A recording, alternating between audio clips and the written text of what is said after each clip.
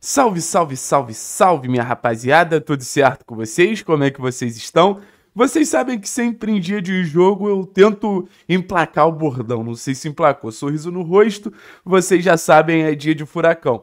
Mas hoje, tô com sorriso no rosto porque eu tô morrendo de saudade e não é hoje que é dia de furacão, é amanhã, mas a gente vai ter, depois de 15 dias, o Atlético voltando a campo, depois de 15 dias e, e, e um momento de descanso, outro momento de atividade, o furacão retornando para um momento curto, né? É interessante a gente pensar nessa perspectiva, porque a gente fala tanto de uma pré-temporada durante a temporada, e é basicamente isso, porque o Atlético teve esses 15 dias, vai ter basicamente 4 dias de jogo, né? Quinta, sexta, sábado e domingo, e depois mais 10 dias de paralisação novamente, aí pelo motivo de data FIFA. Então o Atlético tem tanto confronto contra o Ameliano, tanto confronto contra o Fortaleza, oportunidade de se manter bem ali na, nas competições e, obviamente, voltar a se preparar para aí sim é, essa eterna busca pela melhor versão, né? Porque acho que no final das contas não dá para dizer que o Atlético atingiu o teto e que o Atlético, junto ao técnico Cuca, junto aos treinos de dia a dia, vá buscando sempre essa, essa melhor versão, essa sua melhor capacidade de enfrentar qualquer tipo de adversário. Porque os jogos contra Fortaleza e os jogos contra Miliano, para mim, ligam um alerta que é um Atlético que até agora foi muito bem quando o nível do adversário aumentou, e um Atlético que tropeçou e mostrou algumas inconsistências quando o nível do adversário era baixo. E é importante você pensar isso porque é diretamente ligado ao nível de concentração da equipe. Danúbio, Juventude e Piranga mostram que em jogos como esse contra o Esportivo Ameliano, o Atlético tem que ficar ainda mais ligado. Quando o Sarrafo subiu contra Palmeiras, contra Inter, os jogos do Campeonato Brasileiro, que eu acho que são mais difíceis, o Atlético deu uma resposta muito positiva e é nessa resposta que a gente também está se apegando para enfrentar o Fortaleza. Mas vamos lá, vou pedir o like de vocês, vou pedir para vocês se inscreverem no canal. E a pergunta do vídeo é muito clara. O Atlético volta depois de 15 dias. O que esperar desse furacão depois de 15 dias de paralisação. E eu vou tentar contar para vocês a minha expectativa, que eu já deixo claro, não é nem de nenhum Atlético muito diferente, tá? E eu nem sei se o Atlético precisa ser uma equipe muito diferente, porque vinha fazendo uma boa temporada em vários sentidos. Então não, não, não, imagino uma inovação tática do técnico Cuca, não imagino um Atlético optando por, por um comportamento diferente, tendo mais a bola, sendo mais controlador, nada disso. Eu continuo imaginando um Atlético com muita força em acelerações, em transições rápidas, tendo o jogo ali muito baseado em, em, em um jogo vertical, sabe? Em um jogo que usa seus jogadores mais cerebrais para acelerar a bola e usa seus jogadores mais velozes para você gerar volume, gerar jogo o tempo inteiro. Algo que vem sendo o, a cara do Atlético desde a chegada do técnico Cuca. A gente teve uma versão um pouco diferente com o Osório, mas desde a chegada do técnico Cuca, o Atlético tem esse mesmo comportamento. Só que eu imagino um Atlético com essa mesma estratégia, podemos definir assim, mas um Atlético fazendo coisas que não vinha fazendo tão bem de uma maneira melhor. Eu espero um Atlético mais eficiente do que um novo Atlético. Acho que um novo Atlético não vai acontecer. Mas essa perspectiva de um Atlético mais eficiente eu acho interessante, sabe? Porque o Atlético tinha coisas a melhorar. O Atlético tinha situações a, a, a, a, ser lapida, a serem lapidadas, né? Até pelo fato de ser um trabalho de curto prazo do técnico Cuca e agora teve seu, seu maior intervalo de treino com os jogadores, algo que ele não teve no início da temporada. Então, ah, Thiago, o que, que você espera que o Atlético possa ter melhorado? Vamos começar lá de trás, passando defesa, meio e ataque. Na defesa, a bola longa adversária, né? Algo que o Atlético vinha apresentando muitos problemas. O gol do Danúbio surge assim, o gol do Seba Fernandes no segundo, o segundo gol do Danúbio, o pênalti é, contra o Palmeiras surge assim. O Atlético conseguir controlar melhor essa bola longa. O Atlético conseguir melhor os encaixes individuais, já que o Cuca opta por esse tipo de marcação, que o Atlético acompanhe melhor os jogadores adversários, que o Atlético tenha mais capacidade de não deixar os jogadores adversários confortáveis sabe? Eu acho que, voltando ali para a parte defensiva, a saída de bola também precisava de alguns ajustes. para o Atlético ter, desde um primeiro momento, uma capacidade de atrair o time adversário e sair de pressão rápido. Porque faz muito sentido para o jogo do Atlético esse. O adversário vem pressionar a gente, a gente sai com poucos toques na bola e já bota a bola em profundidade para os jogadores atacarem espaço. Então, essa saída rápida, desde o tiro de meta, é algo que eu acho que a defesa poderia fazer melhor. Espero que tenha sido bastante trabalhado. Eu acho que algo que a defesa vinha apresentando bem, potência, por exemplo, no jogo aéreo, continuar desenvolvendo, continuar evoluindo. Eu acho que os laterais podem revezar um pouquinho, o lateral que fica mais, o lateral que avança mais.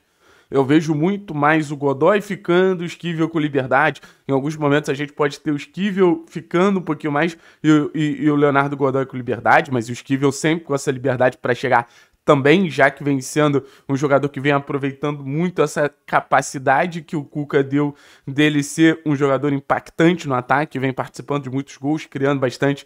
Então não é para frear o Esquivel, mas também utilizar o Léo Godoy como um jogador com capacidade de influenciar a maneira como o Atlético ataca, porque essa capacidade de explosão do Léo Godoy, de ser uma flecha do Léo Godoy, pelo menos o que foi no Estudiante, eu acho que, que acaba sendo algo que potencializa muito o jogo do Léo e, e, e dos nossos defensores. É o que eu quero ver mais, porque eu sei que tem mais para dar. Então, bastante coisa para a gente ver nessa linha defensiva. Acho que em alguns momentos a gente poderia cogitar a possibilidade de jogar com três zagueiros, levando em consideração que você tem dois pontos, de dois laterais de muita qualidade de apoio, né? Então, é uma alternativa tática que me agrada. Ah, Thiago, mas o Atlético tem poucos zagueiros. Não sei se o Atlético tem poucos zagueiros, não. Vamos ver. Acho que às vezes é importante você acreditar que seus três zagueiros vão dar conta ali. Gamarra vinha muito bem, Thiago vinha muito bem, Kaique vinha muito bem. E voltando a dizer, a defesa é uma das protagonistas que o Atlético tem nesse início de temporada, partindo do ponto que é uma defesa que garantiu basicamente os principais resultados do Atlético. Quando o Atlético não toma gol, o Atlético ganha os jogos. Então acho que a gente fecha em relação a essa expectativa de melhora da defesa em alguns pontos. E agora a gente vai para o meio-campo, que é um setor que eu imaginava que seria mais impactante no jogo do Atlético. Quando começou a temporada, eu imaginava um setor com Christian, Zapelli e Fernandinho juntos, criando jogadas, sendo um Atlético de muita posse de bola mas não foi o que aconteceu e tudo bem. O Atlético não tem que jogar como eu quero, é importante bater nessa tecla. Mas o, o, o sentimento que eu tenho é que esse meio-campo ele ainda precisa entender melhor as transições. Acho que a transição ofensiva desse meio-campo ela é boa, não, não, não, vou falar que não. Essa saída da defesa pro ataque rapidamente. Acho que o Fernandinho faz muito bem essa primeira bola. Acho que o Eric sabe correr para frente com facilidade para sempre estar tá aproveitando muito bem os espaços. O Eric tem uma boa leitura de espaços. O, o, o Zapelli vem se adaptando muito bem a esse jogo vertical, que obriga ele a pisar na área, que obriga ele sempre estar tá acelerando o jogo. Mas acho que ainda pode ser melhor. Eu acho que muito do, do, do nosso jogo de é, verticalidade, do nosso jogo de transição passa por esse setor. Eu passo principalmente por Zapelli e Fernandinho, tá? Não tem, não tem muito mistério. Eu acho que são as duas peças, as duas engrenagens mais importantes para o funcionamento da equipe ali, junto com o Canóbio, principalmente nessa fase ofensiva. Então, no meio campo, eu acho que em alguns momentos a gente deveria ficar mais com a bola. Eu acho que em alguns momentos a gente deveria valorizar mais a posse. Acho que, que, que, o Atlético ele arrisca muito, porque sempre quando você está transicionando, você arrisca, né? Você arrisca executar a jogada de forma positiva, mas você também está dando a oportunidade de tomar o contra-ataque. Então esse jogo bate volta, bate volta. É um jogo em muitos momentos muito.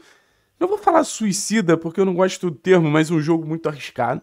Então, pô, você tem um pouquinho a cadência de Zapelli, que tem uma rotação de bola excelente, você tem a cadência de Fernandinho, que tem uma rotação de bola excelente, é importante, óbvio, a gente sabe que não vai ter o Fernandinho nesse jogo, então o Zapelli tem ainda mais responsabilidade nesse meio campo, e sem bola eu acho que a gente precisa melhorar um pouquinho a pressão para esquerda, principalmente quando ultrapassa a primeira camada de pressão ali. Quando os atacantes vão pressionar e a gente sente que a defesa adversária superou essa pressão, fazia falta para jogo Acho importante não dar oportunidade para o adversário buscar esse contra-ataque a todo momento. Acho que esse contra-ataque a todo momento deixa o Atlético muito vulnerável, mas acho que é um setor que vai se encontrando com essa formação de Eric, Fernandinho, quando não tiver em campo aí a gente vai ver se vai ser Filipinho, Christian Alex Santana, acho que vai ser o Alex Santana e o Bruno Zapelli, acho que, que é uma configuração ali que dificilmente vai mudar para a sequência da temporada, e é importante a gente dizer, né, a gente fala que o meio campo são essas três peças,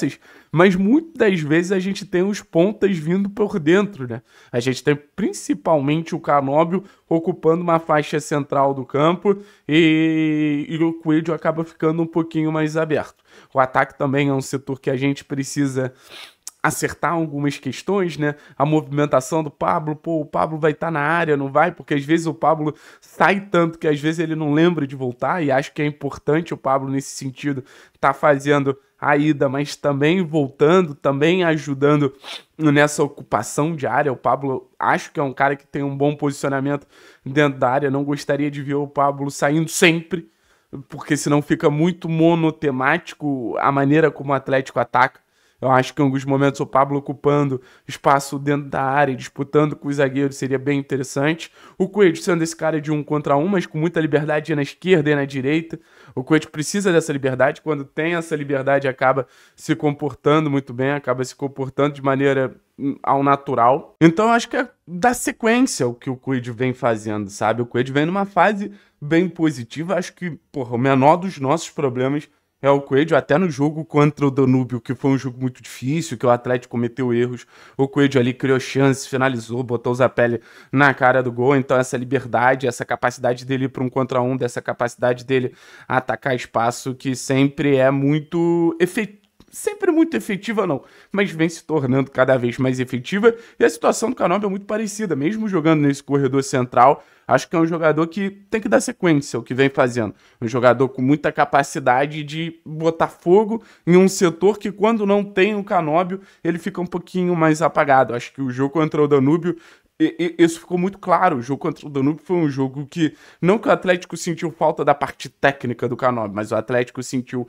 falta dessa capacidade de incendiar, de dar vida. Eu, eu, eu dei o apelido do Diabo Louro, né, que era o apelido do Paulo Nunes na década de 90. O Canobi tá, tá, tá absorvendo muito isso para ele tem muita movimentação, muita coisa acontece quando o Canobi tá nesse sistema ofensivo do Atlético. Aí, óbvio, existe uma expectativa também por jogadores do banco, por um crescimento de desempenho do Mastriani, por um crescimento de desempenho do Christian, por um crescimento de desempenho de jogadores ali que eu, que eu não tenho dúvida que, que, que naturalmente vão nos ajudar, que naturalmente vão ter um impacto muito positivo ali pro um impacto muito positivo ali pro Atlético de, de, de forma geral, sabe? Um impacto muito positivo. É, o Nicão crescendo, evoluindo. Acho que o Nicão é um jogador que naturalmente vai brigar por uma vaga de titularidade, independente de quem seja o ponta que chegue, sabe? Independente de quem seja o ponta que, que, que o Atlético contrate. Acho que o Nicão ele, ele ainda não pode jogar Sul-Americana, né? Só Campeonato Brasileiro. É, não sei nem se Copa do Brasil, acho que Copa do Brasil também, mas é, naturalmente vai entrar nessa rotação, nessa briga. Aí você tem Filipinho, Fernando, bons reservas ali. Mas uma expectativa positiva, uma expectativa de ver um Atlético encarando melhor adversários mais frágeis, continuando a competir contra os adversários de nível mais alto, é um, é um sentimento que o Atlético ele tá no caminho certo eu acho que o Atlético, ele, ele quando chegar nos jogos decisivos, ele vai estar tá entregando mais do que o torcedor imagina. Até agora, eu acho que o Atlético está num bom momento, acho que o Atlético está entendendo bem a, a, fase que ele vive na temporada. Mas quando chegar no, no, no momento certo, é um sentimento que o Atlético aí vai vai estar tá num ponto de desempenho realmente bem, bem acima da média. Beleza, pessoal? Tamo junto, é nóis. E deixa aqui embaixo sua expectativa em relação ao Atlético. Tentei falar por setor, né? Depois falando sobre o banco de reservas. Espero que tenham gostado dessa maneira aí do, do, do vídeo. Tamo junto. Valeu.